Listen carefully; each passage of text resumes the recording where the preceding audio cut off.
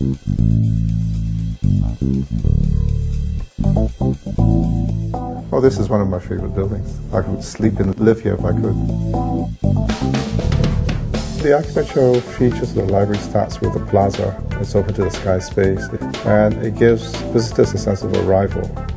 Now, the space is cool but because of evaporative cooling, uh, which is produced by the thermal mass of the building above the plaza.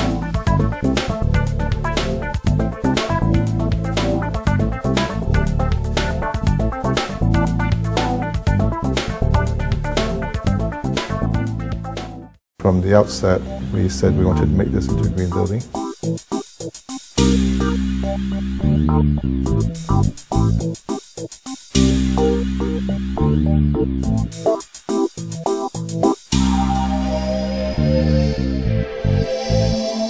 Being in the tropics, what we need is to keep the buildings cool. We try to keep the sun away from the facades.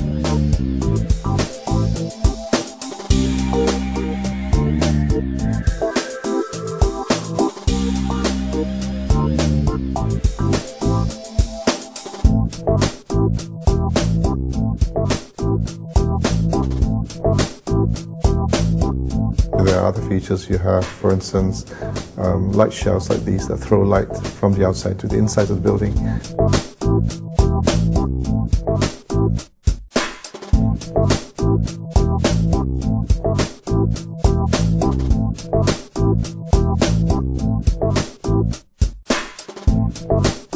We as architects, engineers, designers, builders will have to confront the fact that we have to design for a sustainable future.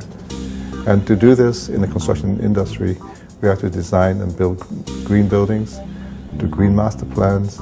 In fact, everything that we make and do as human beings should be as green as possible.